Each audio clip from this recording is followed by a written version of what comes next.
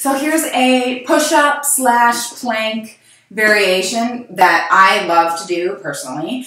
Um, it's a little bit challenging, but I think some of you are definitely up for that challenge. So I'm going to show you first and then just talk you through a couple of tips for it.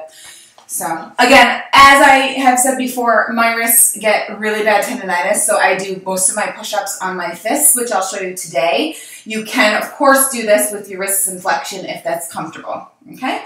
So, regular push-up position. Starting your full arm plank, feet wherever you'd like them to be, wide or narrow. You take your push-up. Then you're gonna bring one leg through and lift the hand on the same side. Now, you have the option here of doing a row with a rotation, so you activate those obliques. But you're also getting a nice stretch on that extended leg in the back, hip flexor here. Then what you're gonna do is shoot this leg back out to your plank.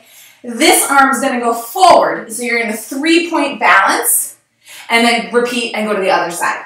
So from here, you'll shoot the leg out, balance, and then put it down. Now notice how my other foot picked up to counterbalance.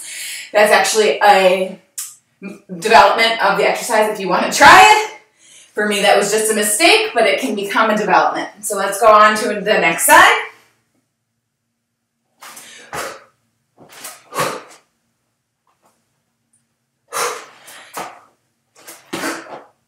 Go.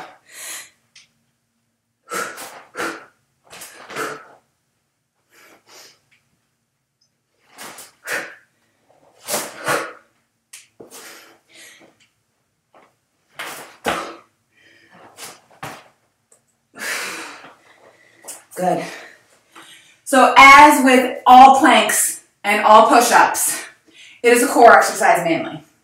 Adding that lunge, like I said, adds a stretch to the hip flexor, challenges the core because that's what's helping to bring your knee in, and it's also challenging your core as you're taking the leg out, and because you're trying to stabilize the balance in that three-point balance.